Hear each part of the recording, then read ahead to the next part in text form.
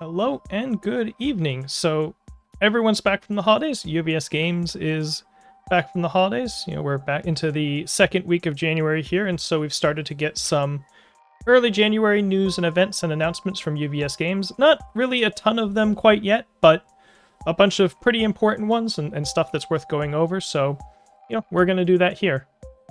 First and foremost, the thing that's going to matter for the most people is probably this Challenger redemption driven launch event launch month program that's going to run for pretty much 30 days, 31 days after these Challenger decks come out on January 19th. And so what they're doing, which is, you know, really cool and something that I, kind of hope they do uh, more of, is they're adding some special redemption only promos to their loyalty store. And one of them is this Get the Scoop Above. There is a second one that is a, a Faye alt art they're not both chibis. This Get the Scoop is, is sort of a stylized chibi, different different style than the ones that we saw for those MHA promos. Uh, the other one is, I believe, a a copy of the six diff that is in the Challenger decks. That the name is escaping me, but it's got a really nice Faye art on it. So there's going to be those two promos as well as a special playmat. Now, these promos are going to cost 250 points each. So if you want to playset of both of them, that's 2,000 points. Now, that's a lot of points, right?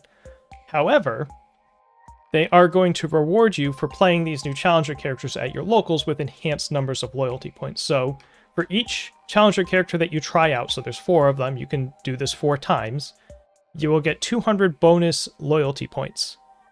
And then, of course, you get 50 just for playing in your local, so you get two. So basically, play in play each of the characters, you're you're you get placed at one of these cards right away. And you've most people probably have a bunch of loyalty points stored up at this point just from playing in locals, playing in provisionals.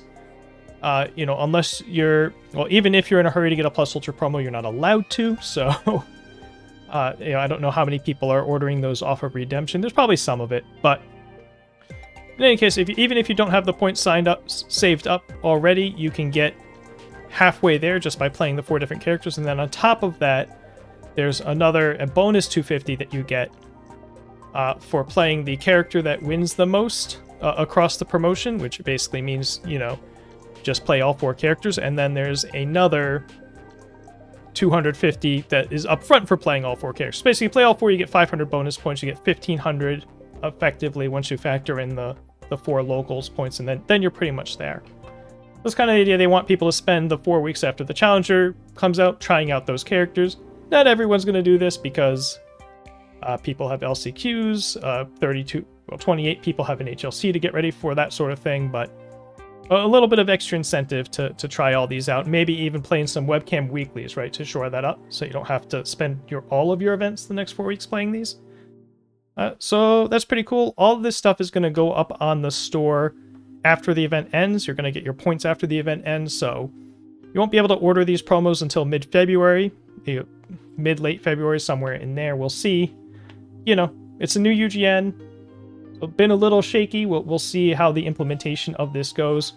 Uh, one little tweak on this, on the article, it, it says that there's going to be a pop-up that asks you for the character that is not implemented. I don't know if that was planned to happen or if someone just was thinking about the old UGN.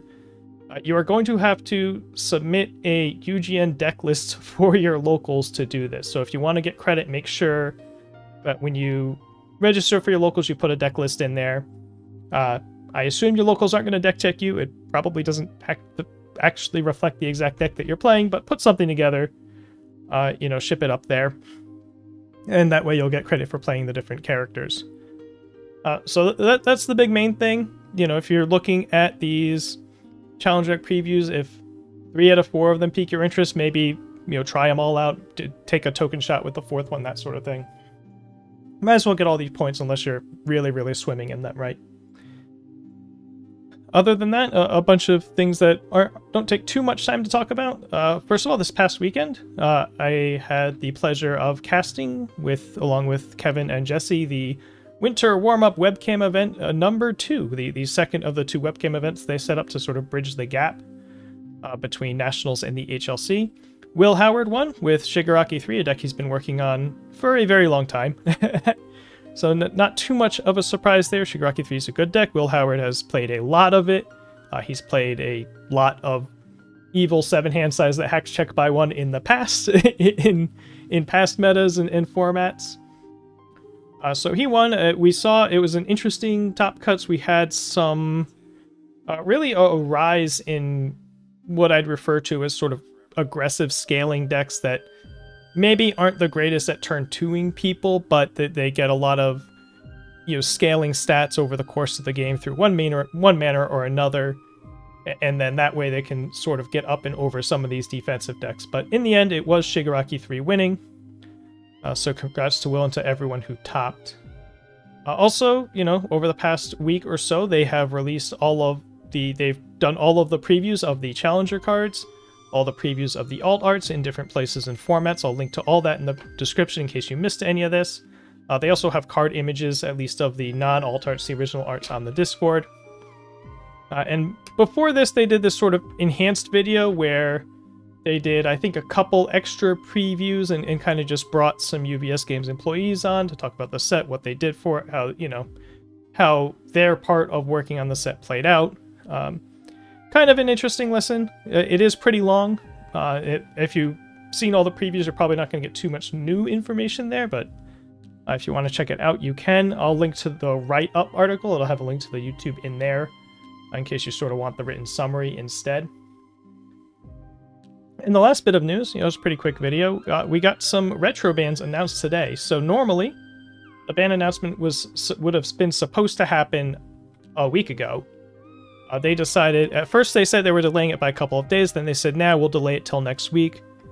Uh, either because they were taking some time to decide what they wanted to do with Retro, or they wanted to see this winter warm-up and make sure nothing, you know, really toxic popped up before the HLC. Maybe a mix of both, but in any event, uh, MHA Spotlight untouched, no surprise. There's there's nothing really jumping out that seems particularly close to bannable. You know, people are going to be people are to be worried about Jiro until the end of time, but she's hasn't, you know, ha hasn't shown a whole lot, you know, aside from Mitch making every top cut on the planet with her, which hasn't changed in, since whenever he started playing her. He's basically been one-tricking her this whole time.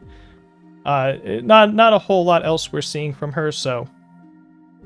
Uh, you know, nothing going on with MHA Spotlight. The the back alley and the CED bands are gonna uh, just do their thing for now.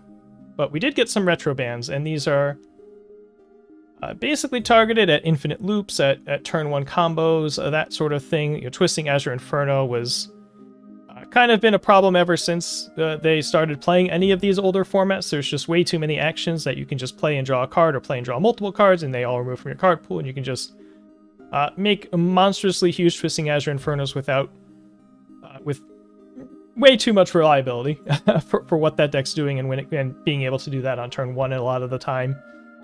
Uh, Cadence Blindfold was a big source of infinite loops. They also hit a bit of a surprise to people was a card called Shokiga Hosen, uh, which is kind of just part of this Mimi Zolt deck, but the, the payoff for the meme was that, you know, I mean, you, you the rest of the deck functioned well enough to like pseudo compete, but it, it's the, the big joke was that Shokiga Hosen is a, a, nearly unblockable 10 damage move he could play on turn 1, uh, or play two of them on turn 1, and, and therefore just kind of turn 1 kill somebody if he got two in his opening hand, which obviously didn't happen that much, but uh, they clearly didn't really like having that around, so, so they went ahead and hit Shokiga Hosen. Uh, so if you're, you're planning for the retro event and you were looking to do something well, there are a lot of really abusive things you could be doing, but if it involved these cards, uh, you're not going to be able to do it, pretty much.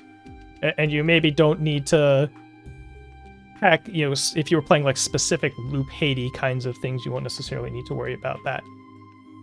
But yeah, uh, that's everything for a little news catch up here. You'll stay tuned the end of the week on Friday or, or perhaps, you know, midnight Thursday night. Uh, uh, we're gonna uh, the embargo is going to be up on the Challenger deck uh, box openings. Uh, I, I did get one of each. I did an opening video before everything was previewed. So, because I always talk about cards in these anyway, I figured I might as well do it as an also a first impressions thing. Uh, so you can get my early initial takes, snap takes on all of these cards. Uh, high on some of them, but not very high on others. Kind, kind of a mixed bag. Uh, I also get to see, you know, my first look at the alternate arts and how those are set up. So, you know, that, that should be pretty good. You know, if you've watched my other box openings, you kind of know the drill by now. Uh, and then, you know, besides that, you know, not too long after these challenger decks come out, we are going to get into Dark Tournament preview season. Uh, I'm expecting to have a video for one of those kits. Uh, thinking about, you know, I'm always thinking about doing some other things and I may or may not have the motivation to do them. Uh, you might see, unrelated to UVS, you might see an altered video or two start popping up on this channel.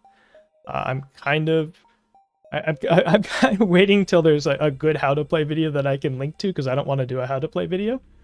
Um, I just want to kind of do some some sort of video content on the game because um, I'm pretty interested in it. it. The Kickstarter's coming up soon, uh, so we'll do a couple things for that probably. Uh, but yeah, that, until then, next thing probably on Friday with these uh, Challenger deck, you know, box openings and, and, and some card first impressions. So stay tuned for that. Until then, have a good week.